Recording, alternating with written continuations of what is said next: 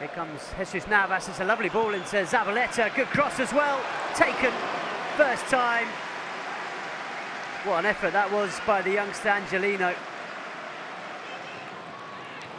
It's a lovely pass from Sané into Gael Clichy. Now it's Angelino back into Gael Clichy. It's got Jesus Navas, goes alone, takes a deflection and it's in. And that's the first goal of the night. And it's Gael Clichy.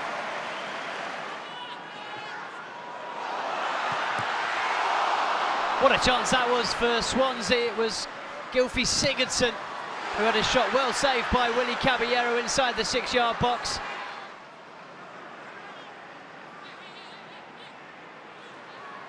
They are leading as Jesus Navas brings the ball forward. Oh, almost finds Iheanacho, but for a fantastic interception by Van der Hoorn. It's back though with Man City and the strike from Aleix Garcia, and that's 2-0 to Manchester City.